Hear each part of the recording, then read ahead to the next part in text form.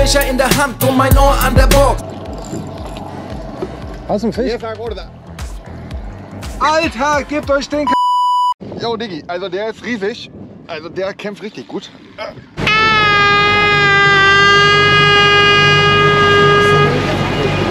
Ich lass die Rude wieder hängen in der Heute bomb ich an den Haken eine Tigergamba. Wenn ich's weiß, schmeiß ich einfach Dynamit am Sandstrand. Ich bin dein Lieblingsangler. Hey, dein Lieblingsangler. Und es geht los auf die Spur. Einen wunderschönen guten Morgen, meine lieben Damen und Herren, Friends and Friendinnen, frisch verliebten, jung gebliebenen Angelboys und Angelgirls. Wir sind auf dem Weg in die größte Markthalle Mallorcas und zwar in den Mercado S. Oliver. Ja, Lulu und ich fahren jetzt in die große Fischhalle. Es geht los. Yippie!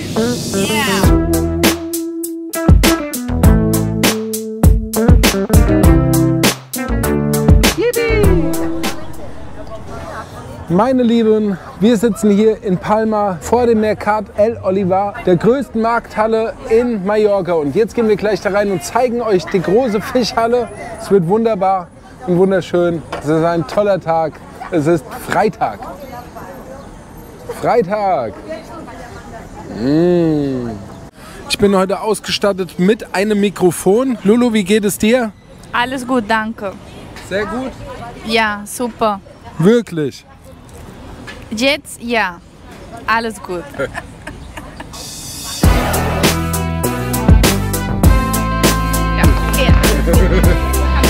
Prost, Lulu. Prost, Prost, ähm, ähm, Mike. Leute. Prost, mein Schatz. Jetzt aber rein in die Halle.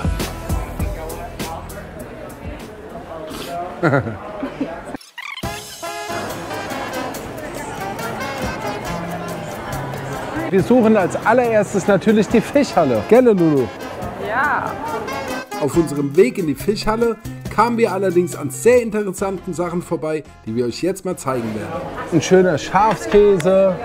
Und da gibt es die Oliven mit Muscheln gefüllt. Etwas ganz Besonderes. Oliven mit Muscheln gefüllt. Das ist ja Wahnsinn, oder? Darf ich dich was fragen? Bitte. Kennst du den Lieblingsangler? Den Lieblingsangler von dir. Mhm, das bin ich. Aha, nein, kenne ich nicht. Das musst du dir angucken bei YouTube. Ah, okay. Alles Und dann unbedingt ein Abonnement dalassen oder ähm, ein Algo-Kommi. Ah, okay. Wo finde ich dich? Bei YouTube. Ah, okay, alles klar. Mein Liebe, ich wünsche meinen Kindern Bescheid. sehr gut. Ich wünsche dir den schönsten Tag der ganzen Welt. Danke, euch auch. Ciao. Ciao. Jetzt langsam kommen wir zur Fischhalle, glaube ich. Nein, falsch gedacht, Mike. Erstmal kamen wir an ganz verrückten gegrillten Sachen vorbei. Und zwar sind es nicht nur Brathähnchen, sondern hier gibt es auch den weltberühmten Brathase. Da liegt er. Ja, da liegt er, der Brathase. Habe ich so auch noch nicht gesehen, aber sieht gut aus. Ciao. Ciao. Ganz wenige Meter neben dem Brathäschenstand gab es dann folgendes noch zu kaufen. Und hier haben wir wieder Brathäschen. Schon ein bisschen brutal mit den Brathasen. Was wollen wir machen? Kommen wir so langsam in die Fischhalle. Der Markt ist in verschiedene Hallen aufgeteilt und jetzt sind wir hier in der Fischhalle. Und hier gibt es alles Mögliche an frischen, leckeren Fischen. Da sind sie, die guten, leckeren roten Drachenköpfe. Der Drachenkopf lebt in Tiefen bis 500 Metern, wird bis zu 5 Kilogramm schwer und lauert unter Wasser auf Fische, die er schlagartig einsaugt. Er trägt giftige Stacheln an den Flossen, die ein starkes Nervengift enthalten. Sierras, ein Konga-Aal und der krasse Seeteufel. Wow. Es gibt übrigens auch Seeteufel bei uns hier im Mittelmeer. Ja, allerdings fängt man sie eigentlich nur vom Boot aus. Es ist mein Traumfisch. Einmal in meinem Leben will ich so einen Seeteufel fangen. Und hier seht ihr es, Krabbe, also Seeteufel in Mallorca gefangen. Wunderschöner Fisch. Seeteufel halten sich in Tiefen von 20 bis 1000 Meter auf, können bis zu 2 Meter und über 50 Kilogramm schwer werden. Auch sie saugen ihre Beutefische mit ihren riesigen Mäulern ein. Allerdings locken sie diese mit ihrer Lockangel, die aus dem ersten Strahl der Rückenflosse geformt ist, ganz gezielt an. Und jetzt würde ich sagen, wir rappen mal eine Runde. Ich wär kein Rapper, da mach ich halt Fun-Musik. Mit nem Mann neben mir, der eine Klampe liebt. Ich find es klasse, ja, mein Zeit ist bald beliebt. Denn es weiß jedes Girl an, ich pump den Beat. Ja. Und du fühlst, dass es real ist. Es ist mein Ding, denn ich weiß, so klingt nicht vieles. Becher in der Hand und mein Ohr an der Box. Ich und der Beat, alle nicken mit dem Kopf.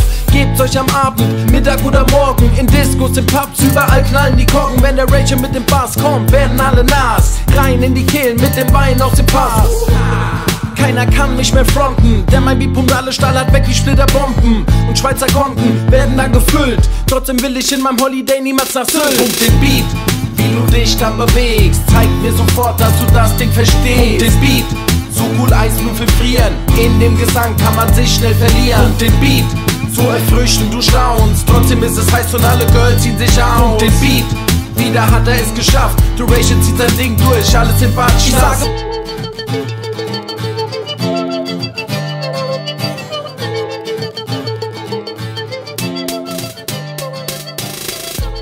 Hier ist etwas ganz Interessantes, was ganz Besonderes. Und zwar sind das kleine Fische, die nicht größer werden. Ganz viele kommen immer zu mir und sagen, hier gibt es Glasaale, aber das sind keine Glasaale, sondern das sind kleine Fische, die einfach nicht größer werden und man tut sie so essen. Meine Lieben, wir sind sichtlich heiter wieder aus der Markthalle draußen. Das war ja total crazy.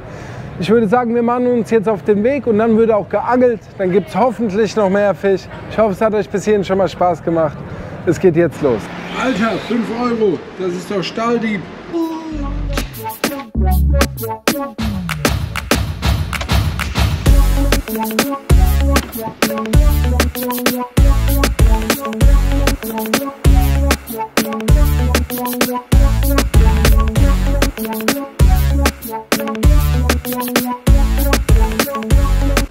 Lieblingsangler, die Fische lieben mich. Ich bin dein Lieblingsangler, hey, dein Lieblingsangler.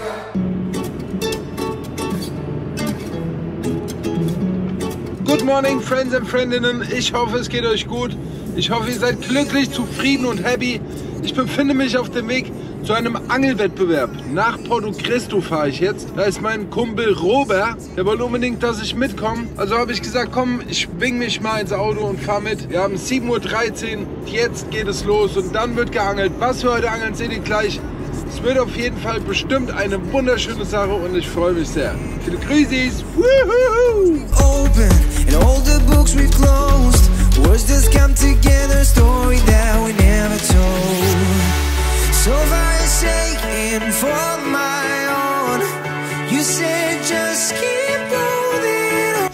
meine Lieben, angekommen. Da unten sieht man schon das Wasser. Da parke ich mal, schnapp mein Zeug und hoffe, dass der Robert mich abholt.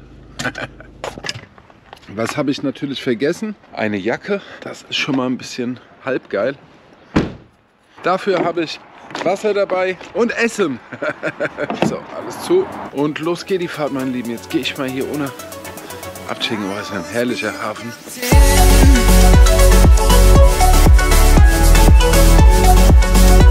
Oh, da kommen wir schon angefahren. Robert, die alte stinkende Pupskanone.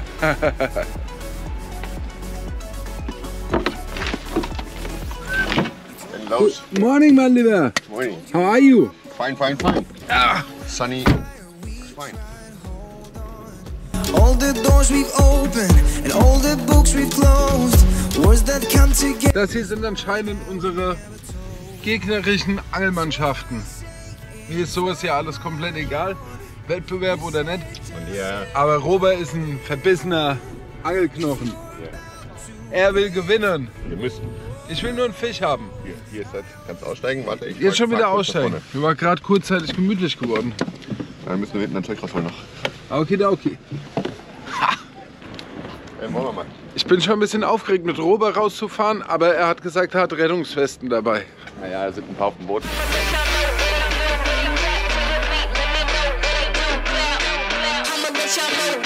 Buenos días. Buenos días, ¿qué tal? Muy bien, vosotros. Muy bien.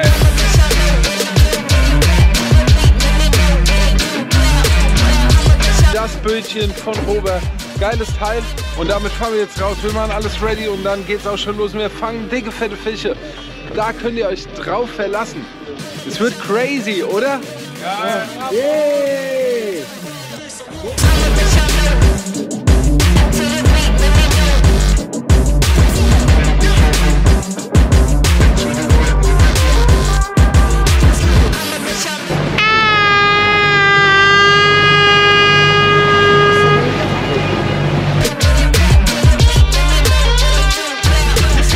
Habt ihr das Horn gehört, meine Lieben? Es geht los. Jetzt wird hier geangelt.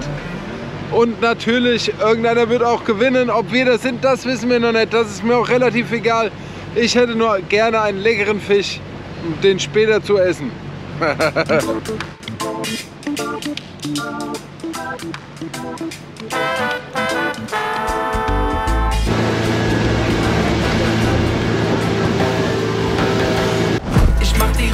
klar, hab mein Juice am Start. Er lässt mich fliegen wie ein Superstar. Error de motor, me cago en su puta madre. ¿Qué pasa? Also wir sind angekommen am Angelplatz und hier gibt es anscheinend viel Fisch. Ich habe natürlich wieder nur die Hälfte dabei von allen guten Sachen, denn ich habe es nur auf Kap Brotsch abgesehen. Also ich würde sagen, wir lassen jetzt einfach mal runter und dann checken wir mal die Lage, was hier so abgeht. Robert kämpft noch mit dem Motor. Und dann ging es Schlag auf Schlag. Ich hatte meine Angel noch nicht einmal im Wasser, da waren bei den anderen beiden die Angeln schon total krumm. Aber seht selbst, dann machen wir mal hier unseren schönen Gummipulpo mit Blei fertig. Und hoffentlich fange ich einen schönen Kaprotsch. Den will ich damit fangen. Dann machen wir noch einen schönen Kalamar dran. Herrlichkeit. Hast du Elastikband gerade zur Hand? Das wäre so nett, mein Lieber. Danke. Jetzt checkt Roberts Angel.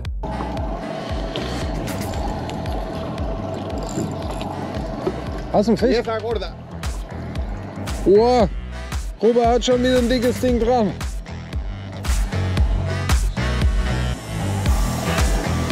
Nach dem Kalamar musste ich mir die Hände waschen. Als ich hochkam, war bei Andrea die Angel auch krumm. Unvorstellbar. Da, da ist die Angel krumm, beim Robert ist die Angel krumm. Ich habe noch nicht mal die Angel drin. Oh, was ein Kaprotsch, Alter. Hey, Robert!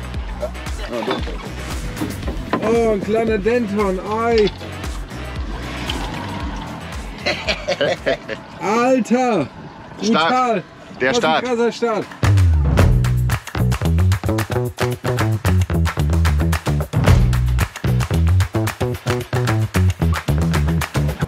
Herrlicher Fisch.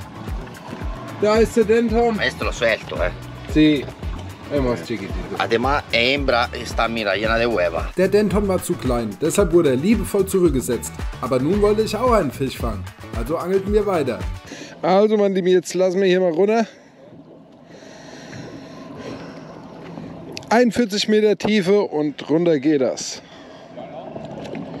Gesagt, getan. Angel wird runtergelassen und auch bei mir sollte es nicht lange dauern.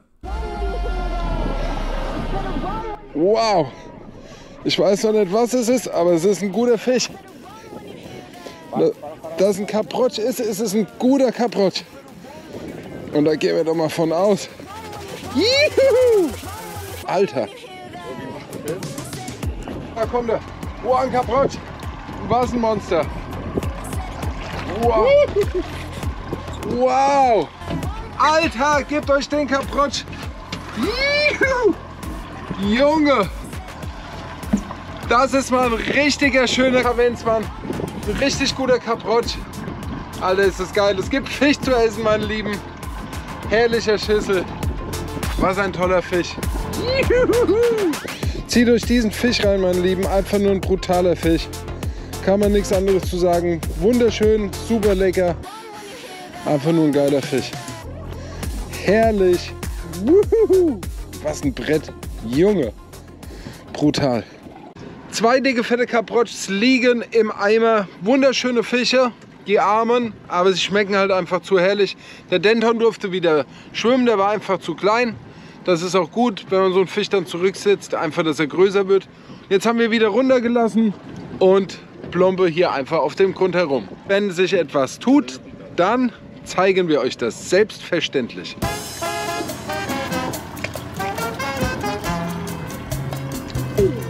Anders als ich angelt Robert mit Seitenarm und kleinen Haken. Er fängt wunderschöne Fische. Zieht euch die Fische rein, die jetzt kommen. Es grosso, ¿eh? Jo, Diggi, also der ist riesig. Also der kämpft richtig gut. Geht doch in die Bremse. Mal gucken, mal gucken. Hoffe ich doch, dass wenn es ein Denton ist, ah, dass die Schnur heilt. Weil das ist jetzt 25er. Das wird knapp. Boah, boah. Buen Pargo. Alter Schwede. Schönes Fischchen. Hä? Wow. Was ein wunderschöner Fisch, mein Lieben. Guckt euch die blauen Punkte an. Sehr echt ein herrlicher Fisch. Wunderschön. Wow. Robert, wunderschöner Fisch. Da haben wir eine wunderschöne Kantara. Wunderschöner Fisch. Ja, zieht ihn euch rein. Einfach nur herrlich. Nächster Biss, nächster Fisch. Das bringt uns zum Gewinn heute, schätze ich mal. Hoffe ich doch. Glaubst du, wir gewinnen? Ah, kann gut sein, ein kleiner Serranito. So, mein Lieben, jetzt wird hier hochgeholt. Wir machen uns jetzt rein in den Hafen. Dann bin ich echt mal gespannt, was die anderen Leute gefangen haben. Ich bin froh, dass ich einen schönen Kaprotsch gefangen habe. Das wird super schmecken. Lulu freut sich schon. Ich habe nur einen Fisch gefangen, die anderen haben mehrere kleine Fische gefangen. Aber ich bin happy, glücklich und zufrieden und es war einfach ein toller Tag. Und jetzt fahren wir rein in den Hafen, meine Lieben. Ahoi!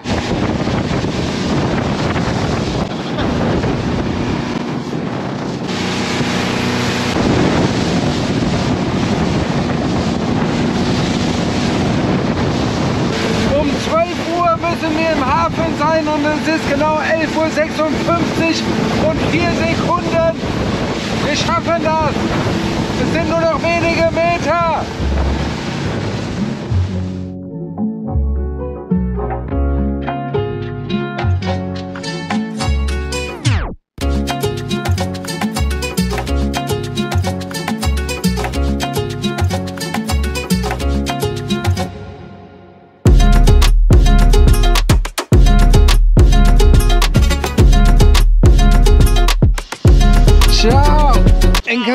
Conocerte. Yo también. Also wir sind angekommen, jetzt geht's zur Waage, glaube ich. Ich bin ja mal gespannt.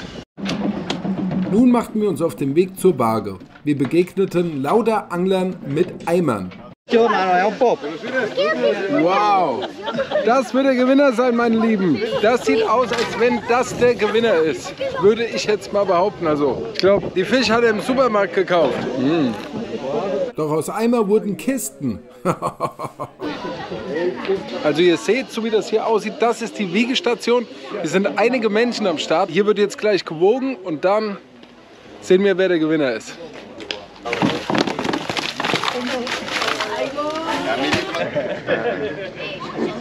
Elf Kilogramm. Elf Kilogramm Fisch. Robert wollte gewinnen. Ich glaube, das wird heute nichts. Es waren ganz schön viele Leute da. Jetzt waren wir an der Reihe, unsere Fische zu wiegen. Und wie viel Kilo sind das? Aber mal gucken. 2,9 Kilo. Wir sind auf jeden Fall auf den letzten Plätzen. 2,9 Kilo. Und Applauso. Hey.